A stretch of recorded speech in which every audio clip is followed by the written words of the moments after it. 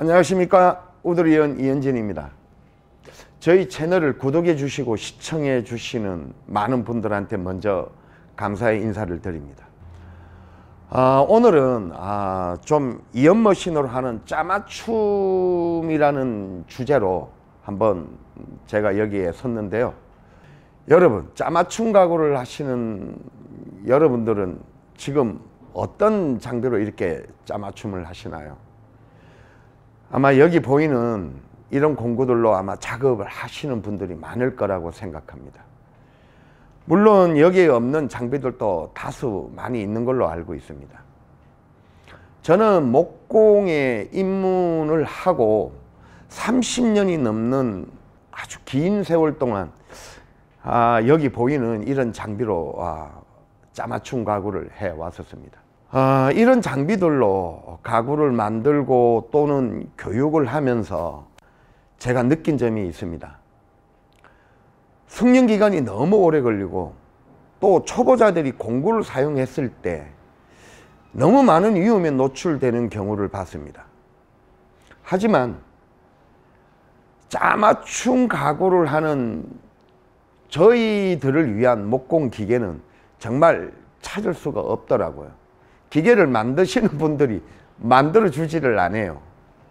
물론 뭐 장보 가공기나 이런 전용 기계들은 존재를 하지만 어, 저는 고민 끝에 한번 만들어 보자. 그래서 자맞춤 전용 기계를 개발을 시작했고 이연머신이라는 아, 기계를 탄생을 시켰습니다. 저희 이연머신은 안전하고 숙련 기간이 짧습니다. 또 노동력을 획기적으로 줄여주는 기계입니다. 자, 이제 이연 머신으로 한번 얼마나 이연 머신이 어, 다양한 짜맞춤을 할 수 있고 또 얼마나 멀티 기능을 갖고 있는지 제가 한번 여러분들한테 보여드리겠습니다.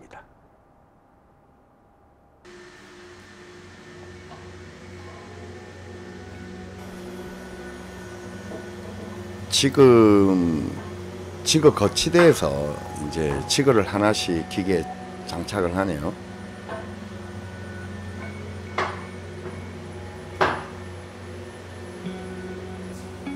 어, 저렇게 X축으로 얹는 지그는 위에다가 판을 올려놓고 양쪽에서 어, 축가공이 가능하고요. 지금 꼽은 거는 통합지그라는 겁니다.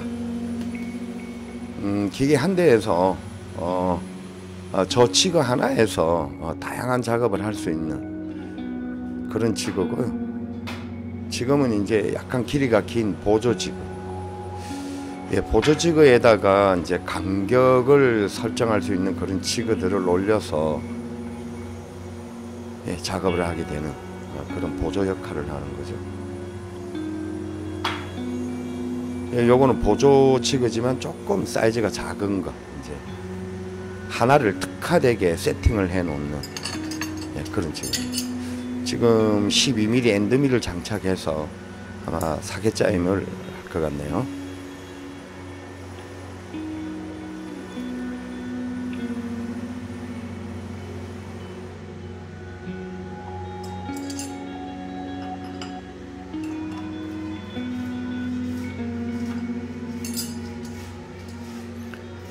저렇게 12mm 엔드밀은 이렇게 long end mill, 예, short end mill 이렇게 길이가 조금 차이 나는 것들이 존재를 합니다.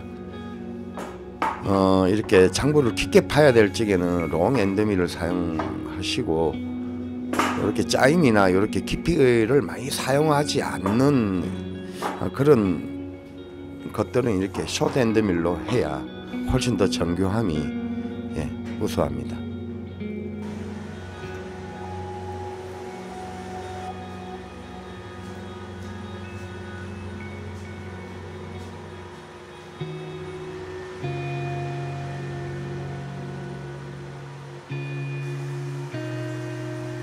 지금은 사계짜임에 센터 가공을 하기 때문에 아마 센터를 찾고 있고요.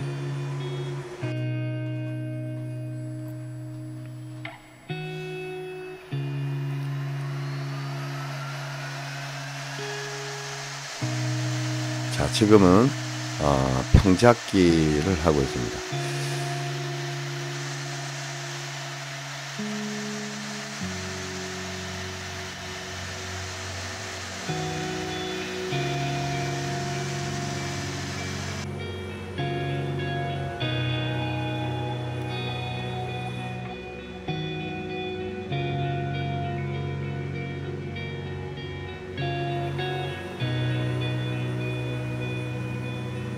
센터를 잡으시고 12mm는 양쪽으로 6mm씩 밀어서 어, 날이 정확하게 센터에 들어가게끔 어, 세팅을 해 주시는 게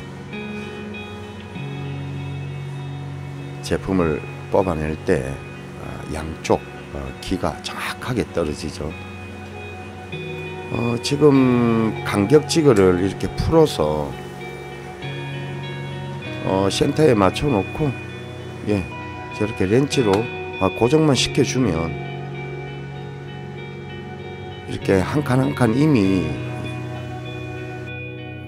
홈이 파여져 있는 거기다가 걸어서 이렇게 예 밀링만 해주면 됩니다.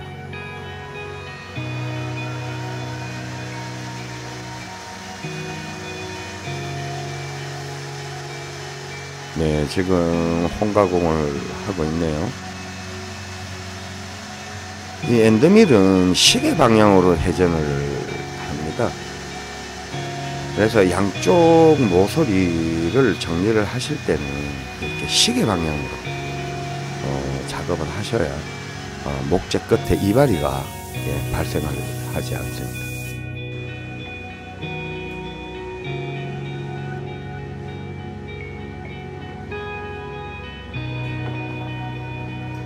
예, 지금은 8장의 사계짜임을 이렇게 가공을 했는데요. 최대 뭐 한 12장까지 한 3세트까지는 아, 별 무리 없이 예, 가공이 가능하니까 뭐 서랍재나 이렇게 작은 박스나 이런 부분들은 아마 대량 생산이 예, 충분히 가능합니다. 어, 저는 어떤 기계보다도 빠르지 않나. 예. 항상 그런 자부심을 갖고 있습니다.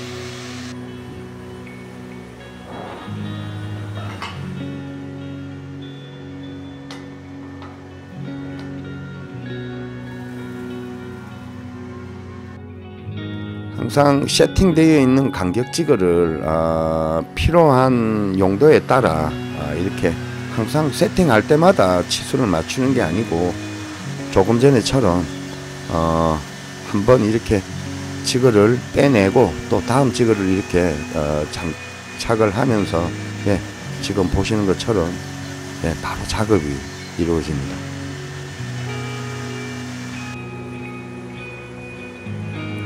저 정도는 그냥 10초, 20초면 다 긁어버리죠.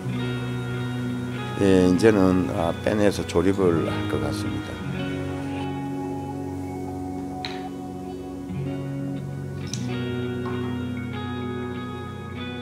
재료만 재단이 되어 있다면 어, 저희 기계에 장치를 해서 이렇게 사계 짜임을 뭐 지금 8장을 긁어서 조립을 하는데 뭐 저는 상자 두 개는 뭐 한 2, 3분? 예, 1, 2분? 어, 그 정도면 이렇게 작업이 다 완료가 됩니다.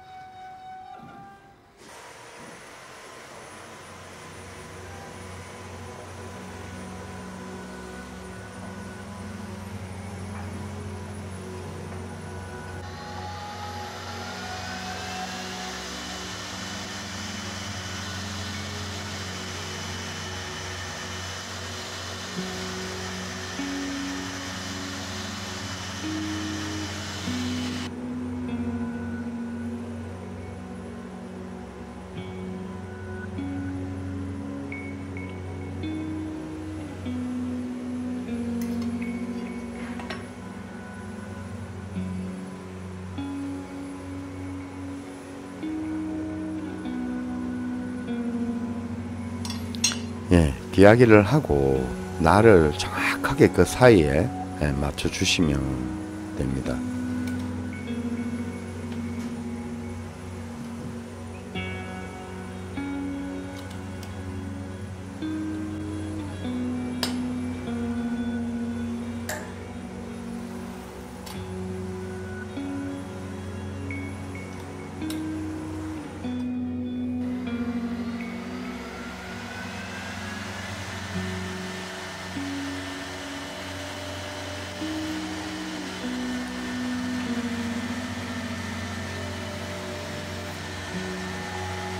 지금은 이제 칸칸이 이렇게 어, 긁는 것이 아니고 이렇게 숫자물을 어, 이렇게 세 개만 촉을 만들어서 예, 작업을 할 겁니다. 어, 사계짜임이라도 조금 패턴을 어, 내가 원하는 대로 어, 쉽게 이렇게 맞춰서 작업을 할 수가 있습니다.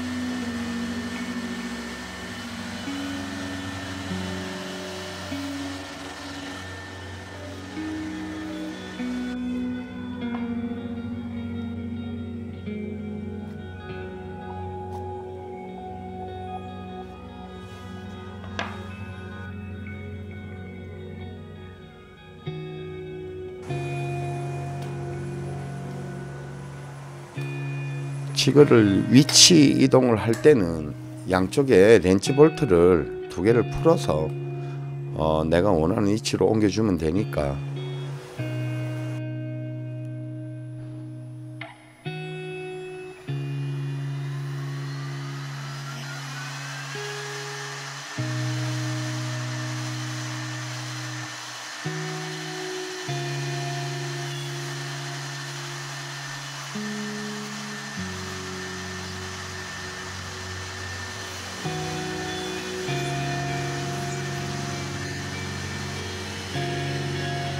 작업이 다 된 것 같네요. 아, 아니 반대쪽을 파야 되네요.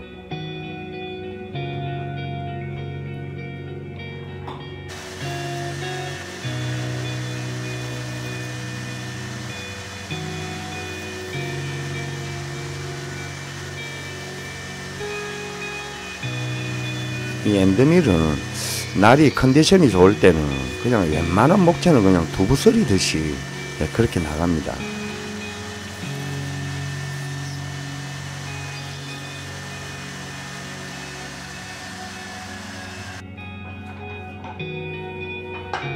예, 이제 박스를 조립하고 있습니다.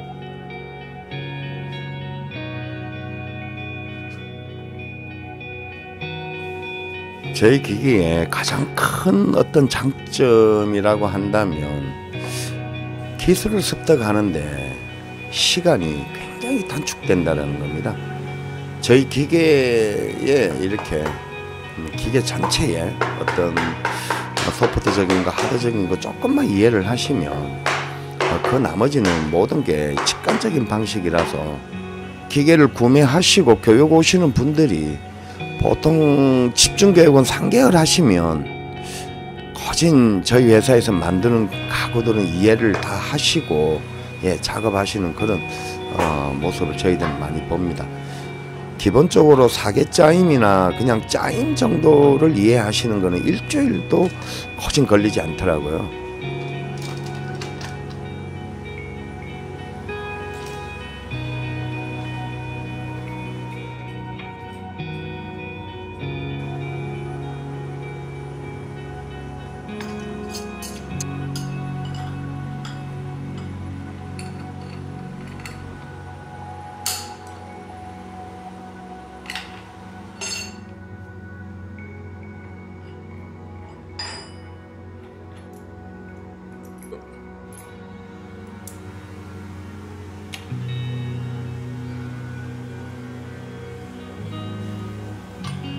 예, 지금은 도브테일 날을 어, 장치를 합니다.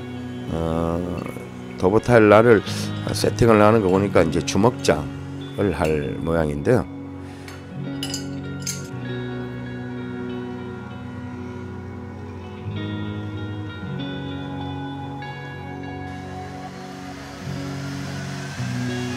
모든 재료는 저렇게 이렇게 평잡기를 한번 하셔서 아, 먼저 직가를 그걸 만들어 놓고 예, 그 2차 작업으로 예, 넘어가시는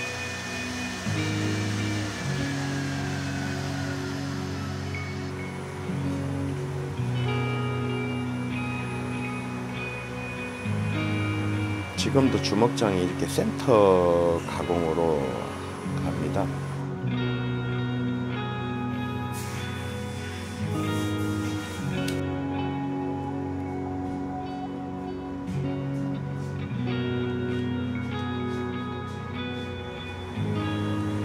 (19mm) 어, 저렇게 도브테일 날로 예, 센터를 잡고 정확하게 센터에 맞추시고 예, 19mm를 설정을 해서 내려서 어, 깊이 가공을 하시면 됩니다.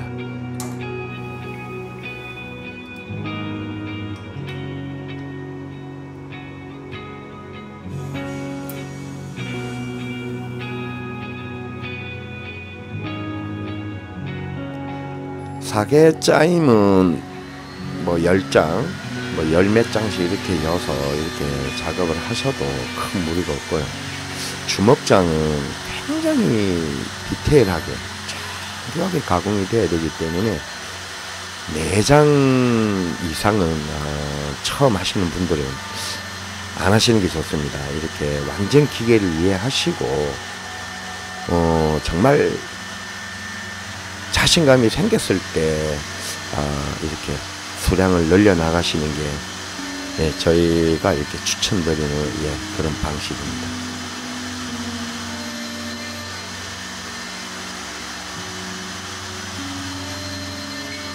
앞에서부터 이렇게 뒤에까지 이렇게 원터치로 치고 나오면 어, 끝단에 이발이가 발생을 할 확률이 높습니다. 그래서 전면부를 먼저 이렇게 입구를 긁어주고 예, 그 다음에 뒤에서 마무리를 보는 예, 그런 방식으로 작업을 하셔야 어, 양질의 재료를 예, 가공할 수 있습니다.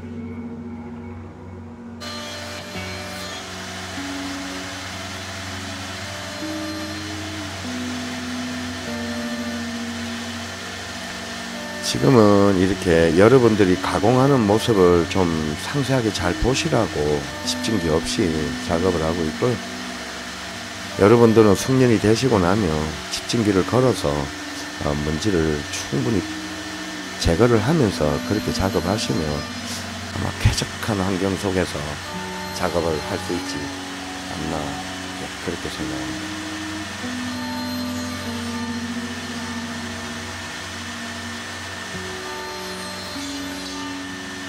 주먹장에 이렇게 도브테일 네, 가공이 이제 완료가 됐네요.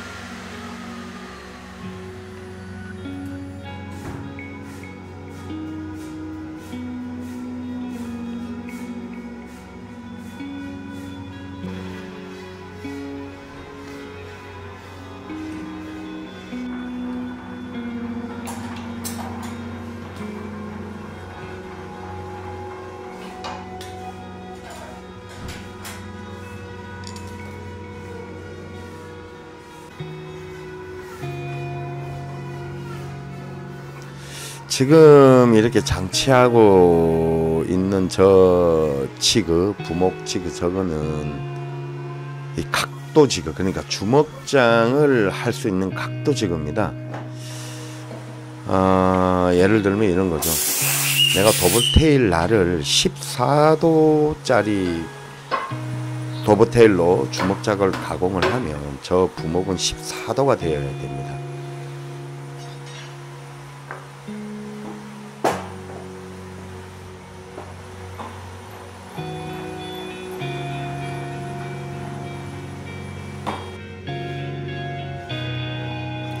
정확한 위치를 찾기 위해서 어, 저렇게 표시를 한 두 칸 정도 해 주시는 게 아, 위치 잡을 때 예, 유리하죠. 제가 교육을 해보면 어, 살려내야 될 곳을 이렇게 가공을 해서 제거를 하시는 분들이 많아요.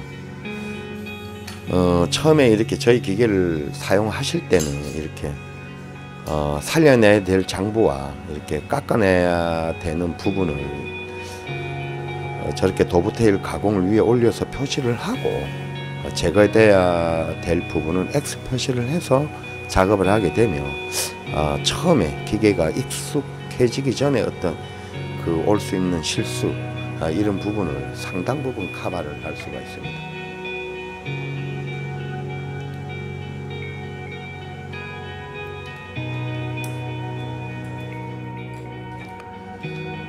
저희 기계에 이 모든 그 치그를 세팅할 때는 저렇게 렌치 하나 하고 어, 스패너 아주 작은 스패너 한 개가 있으면 모든 치그는 세팅이 됩니다.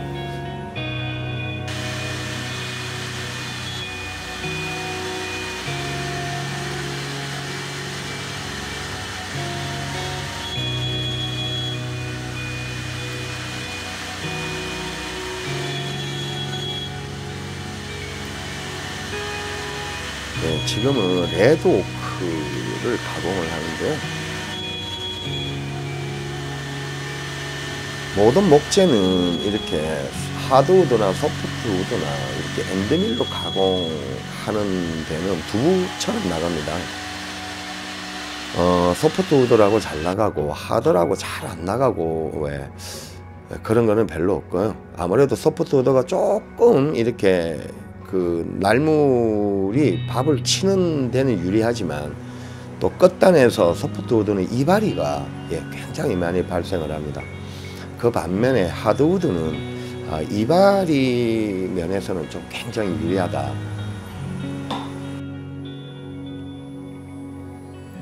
예, 각도를 꺾어서 이제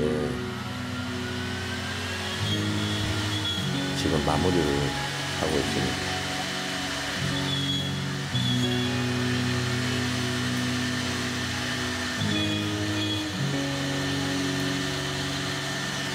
이 엔드밀 가공은 아주 장기한 작업을 위해서는 날의 컨디션이 좋아야 됩니다. 어, 사용하시는 날이 이렇게 좀 상당히 좀 어느 정도 써서 날이 컨디션이 안 좋아지면 날을 이렇게 빨리빨리 교체해 주는 것이 어, 작업 전체를 완성하는 데 비용이 오히려 어, 날값에다가 반영을 해주는 것이 아, 비용적으로 어, 절감이 된다고 저는 항상 그렇게 느끼고 있습니다.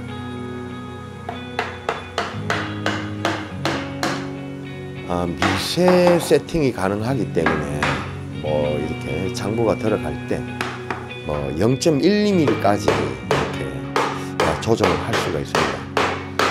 어, 그래서 장부가 들어가는 것도 조금 이렇게 여유 있게 들어가게 할 수 있고 아주 타이트하게 어, 장부를 밀어 열수 있기 때문에 어, 작업하는데 어, 어떤, 어떤 가구냐에 따라서 어, 예, 선택할 수 있는 폭이 가공 선택할 수 있는 폭이 넓어지겠죠.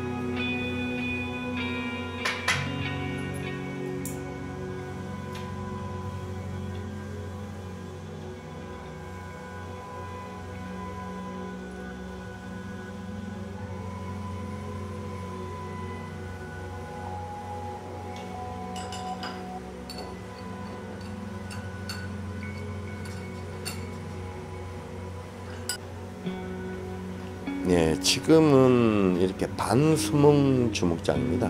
어, 한쪽은 주먹장이 보이지 않고 한쪽은 주먹장이 보이는 이렇게 반수몽 주먹장을 예, 가공을 하는 모습을 지금 준비를 하고 있네요.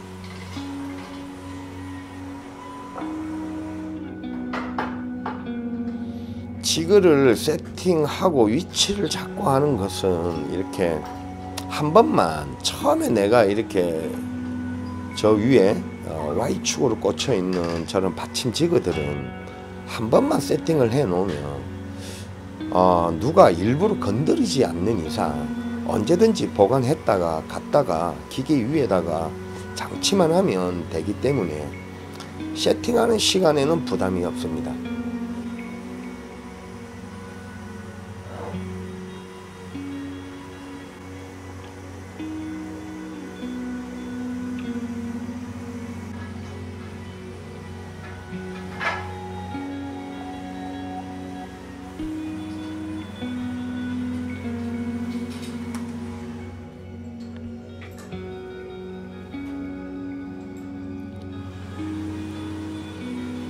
내가 가공해야 될 위치를 잡으시고 저렇게 어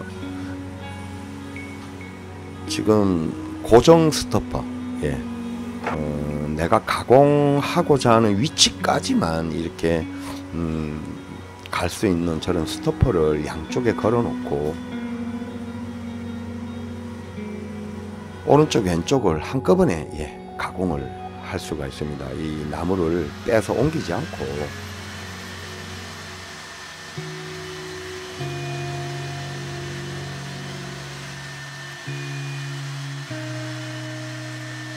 지금 숨은 주목장도 센터 가공을 어, 하는 모습인데요. 또 다음 영상에는 센터 가공이 아닌 이 저희 기계가 하는 이 센터 가공은 항상 홀수가 나옵니다. 장부 개수가. 어, 그 다음에 이제 센터 가공이 아닌 이 모서리부터 가는 가공은 항상 짝수가 나오게 되죠.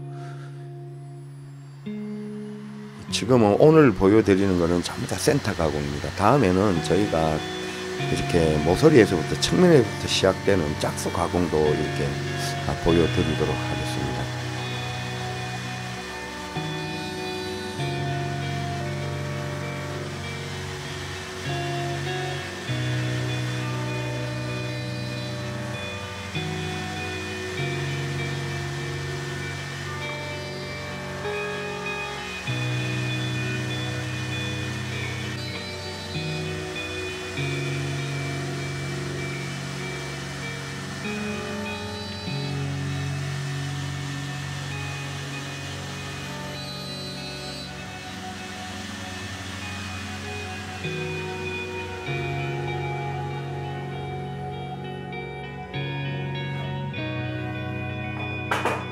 예, 이제 도배텔 속으로 들어가는 습장부를 예, 이제 가공을 합니다.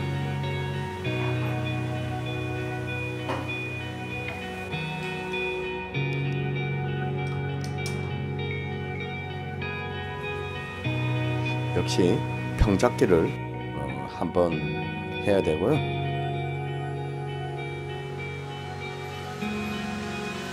그래서 항상 제품 길이보다 이렇게 자재 길이를 한 1mm나 2mm 정도는 조금 이렇게 길게 재단을 하셔서 어, 그 치수 반영을 해서 저희 기계를 세팅해 주시는 게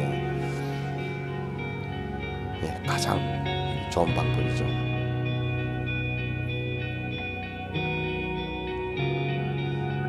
베어링이 이 지그를 타고 돌면서 가공이 되기 때문에 절대 저희 기계는 불량이 나오지 않습니다. 일부러 불량을 만들려고 하지 않는 이상 어, 베어링이 어, 그 지그를 뚫고 들어갈 수가 없겠죠. 예, 그래서 항상 이 속도의 차이만 그 어떤 능숙함의 속도의 차이만 있을 뿐이지 그 누가 해도 예, 불량은 나지 않습니다.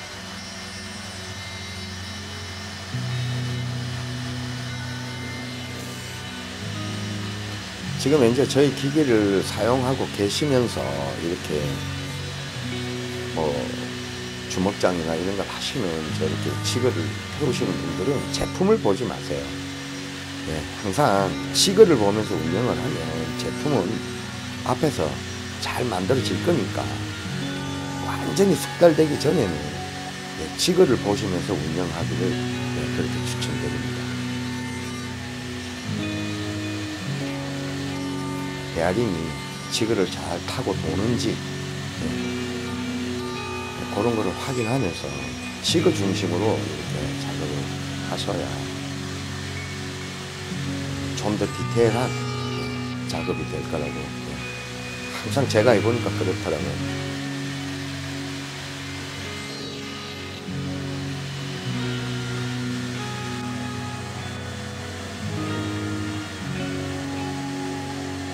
이렇게 더블 dovetail 날을 써서 저런 지그를 돌리실 때 항상 들어올 때 이 시계 방향으로 도니까 들어올 찌개는 왼쪽으로 깎으시고 나갈 찌개는 오른쪽으로 깎아주는 어, 그런 요령이 꼭 필요합니다.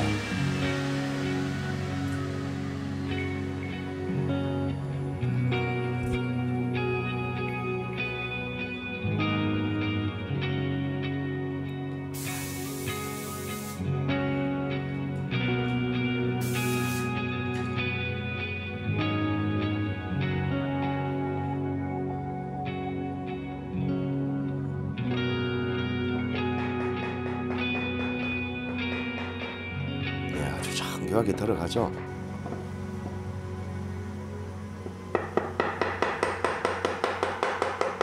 어, 이런 도브테일 어, 단수문 주목장 역시 내가 이렇게 타이트하게 음, 들어가게 하거나 약간 여유 있게 들어가게 하거나 그 0.1mm씩이 이렇게 미세 조정이 가능합니다. 저희 기계를 쓰시면서 지금 보시는 분들은 다 아시죠?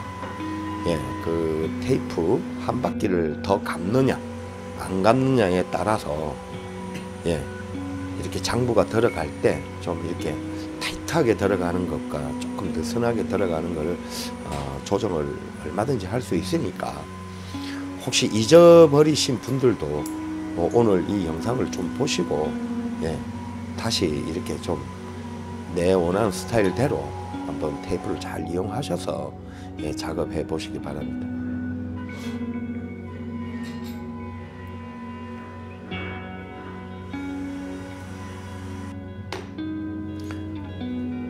예, 지금은 촉가공을 이렇게 하는 모습을 보여드릴 건데요. 어, 저희 교육 채널에 보면 이제 저희 인가장하고 황 PD가 이런 교육 영상을 이렇게 이렇게 만들어서 올립니다. 예, 그거를 참고를 하셔서 이렇게 연습을 많이 하시면 좋을 것 같고요. 오늘은 제가 이 베어링으로 촉을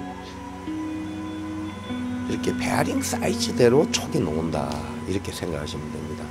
10mm 베어링을 태우면 10mm 촉, 예, 22mm 베어링을 태우면 22mm 촉이 나오기 때문에 우리가 물론 이거 계산을 되는 공식이나 이런 것도 어, 교육 TV에 많이 올려놨지만 어, 조금 편안하게 생각하는 거는 베어링 치수대로 제품이 나온다.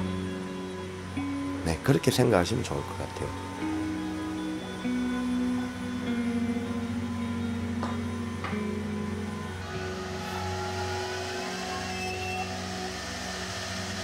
지금은 10mm 촉을 가공하는 모습이네요. 판재 하나에 이렇게 촉을 여러 개를 지그를 세팅을 해서 어, 가공을 할 수 있습니다. 자, 요번에는 어, 13mm 같아요. 예, 베어링 순서가 바뀌었네요.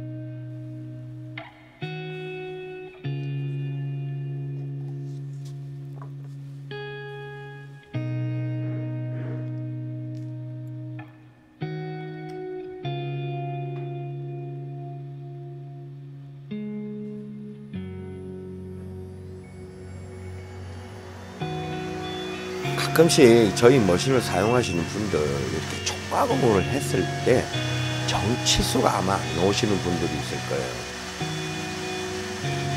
12mm로 돌렸는데 11mm가 나오고 아마 그런 경우 때문에 전화가 이렇게 가끔씩 종종 오시는 분들이 있는데요. 그거는 스핀들 유도 장치, 예, 베어링이 꽂히는 그 스핀들 유도 장치에 아, 프로파일 옆에 볼트를 꽉 조아 주셔야 됩니다. 어, 스핀들 유도 장치가 흔들리게 되면 흔들리는 만큼 유격이 생기기 때문에 예, 그거를 어, 정치수가 잘 안 넣어서 이렇게 고민하시는 분들은 어, 벤치로 예, 이렇게 튼튼하게 꽉 조아 주시면 예, 정확한 치수가 아마 나오실 겁니다. 역시 이렇게 촉가공 하실 때도 어, 이렇게 완전히 숙달되신 분이 아니면 제품을 보지 마세요. 예, 제품을 보지 마시고 이렇게 그 베어링이 지그를 타고 돌아가는 모습을 보면서 이 연습을 자꾸 하셔야 어, 느 정도 이제 숙달이 되면 어, 지그를 안 보고 예, 제품만 봐도 예, 쉽게 쉽게 이렇게 할 수 있을 정도로 숙달이 될 때까지는 지그를 타고 도는 모습을 예, 봐주기를 추천드립니다.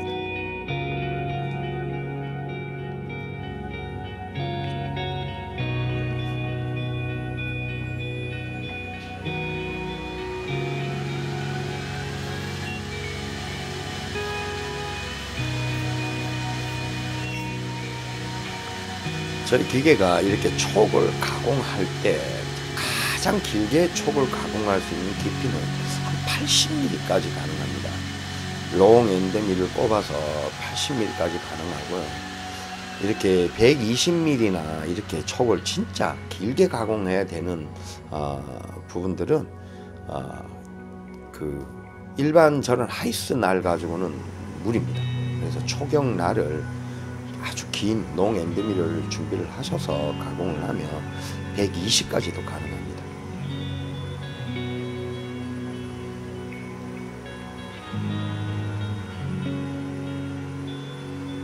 지금 보시는 것처럼 어, 지금 세팅되어 있는 저희들이 제공하는 지그로 어, 가공을 하시면 베어링 사이즈대로 제품이 나온다. 예, 이렇게 예, 이해를 하시면 됩니다.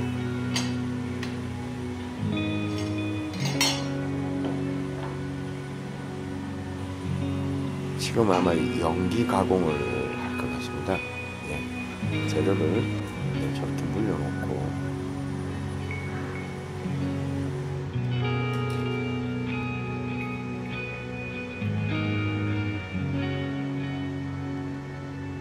지금 12mm 엔드밀로 이렇게 예, 연기 가공을 할 것 같습니다. 아, 지금 저렇게 Y축으로 들어가는 저 지그가 12mm 사계짜인 지그입니다. 음, 12mm 엔드밀로 이렇게 장부 가공을 하실 때는 어, 12mm 사계짜인 지그를 Y축에 걸어놓고 사용을 하시면 아, 저런 촉가공을 너무 쉽게 할 수 있습니다. 아, 근데 저희 기계 사용하시는 분들 보면 저걸 사용 안, 하시, 안 하시는 분들이 많더라고요. 그래서 이번 영상을 보시고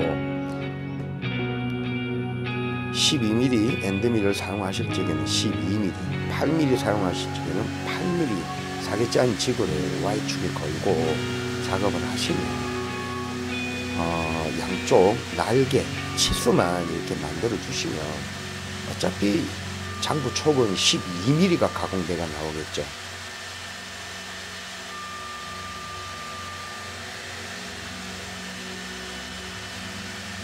항상 엔드밀로 어, 목재를 이렇게 가공하는 방향은 시계 방향이라는 걸 잊어버리지 마시고요. 시계 반대 방향으로 가버리게 되면 어, 모서리에 이발이가 많이 생기니까 꼭 시계 방향으로 네, 가공을 하셔야 됩니다.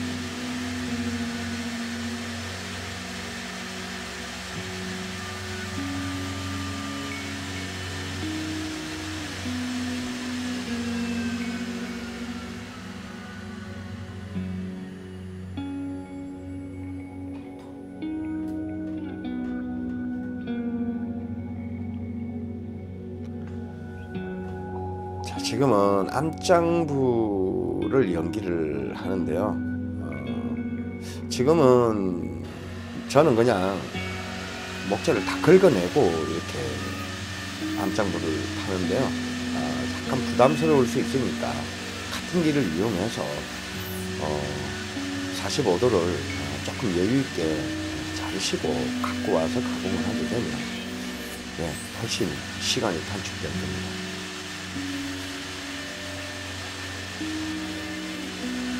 지금 가공하는 목재는 레드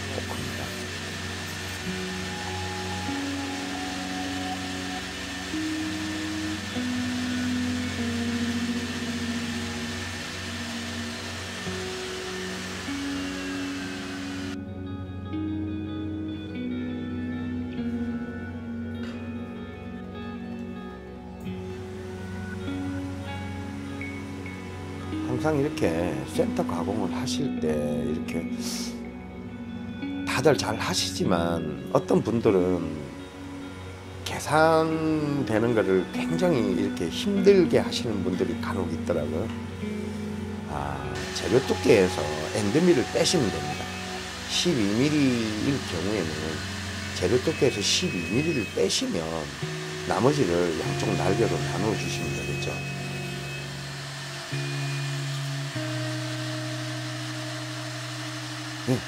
뭐 안장부 파는 게 불과 뭐 몇 초 만에 끝나네요. 저희 기계의 장점이라면 지그 위에 세팅을 하고 가공을 하는 거라서 지그만 세팅을 잘해 놓으시면 어, 저렇게 직각을 예, 완방에 얻어낼 수 있습니다. 자, 여러분 오늘 영상 어떠셨나요? 예.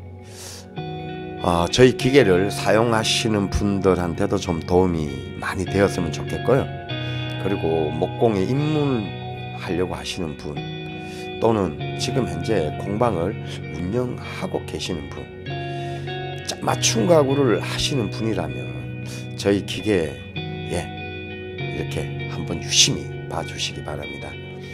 어, 저는 이렇게 가구 만드는 소목일을 정말 오래 했습니다. 어, 어떻게 하면 우리가 이 소목들이 정말 이렇게 편안하고 안전하고 이렇게 또 빠른 시간 안에 예, 이런 장부들을 가공할 수 있을까라는 고민을 정말 많이 많이 해서 예, 이렇게 하나하나 만들어진 기계고요. 앞으로도 꾸준히 노력을 해서 아, 더 많은 예, 기능들이 아, 소화할 수 있도록 예, 노력을 해서 이연머신을 업그레이드 버전을 계속 내놓도록 하겠습니다. 자, 여러분 감사합니다. 좋아요, 구독 꼭 눌러주시고요. 다음 영상에서 저는 뵙겠습니다.